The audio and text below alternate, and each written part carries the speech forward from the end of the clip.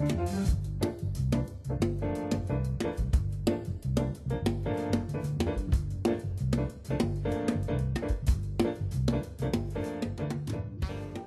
came to visit on open day uh, we were shown around by some girls in the sixth form who made such a huge impression on us. We have a really friendly, really nice atmosphere. Um, everyone supports each other, everyone helps each other through any problems they have. Although it sounds really cheesy, we are all really, really close.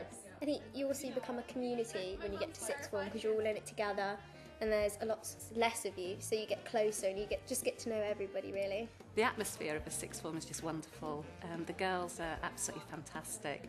We have lots of fun. They work hard, but they also know how to play hard too. And there's a lot of opportunities to um, get involved with lots of different areas of the school as well. They're very, very busy. Uh, not only do they have their lessons, they participate actively in whole school events. All of our sixth form girls have a responsibility in the whole school and one that they take very, very seriously.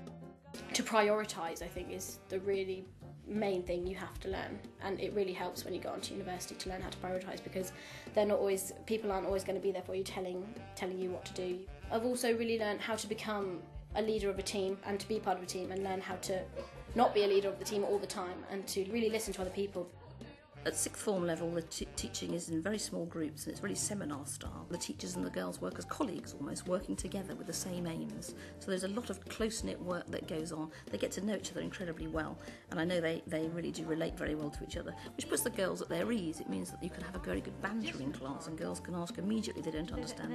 So it's kind of like being at college, so it's your responsibility to keep up the work, but if you're falling behind, they'll always um, help you to catch up and go through it more and more with you until you understand. We've got areas called the flats, yeah. um, which are rooms designated to two people or three people max, yeah. I think. And they're really good to just block out the rest of the day and just study and focus on your work. One of the most important things in the sixth form is actually preparation for university. And they get plenty of guidance throughout the two years of the sixth form leading up to that. Um, and we encourage them to really go for the best universities they can. Getting ready for university in UCAS, they're there to help you write your personal statement.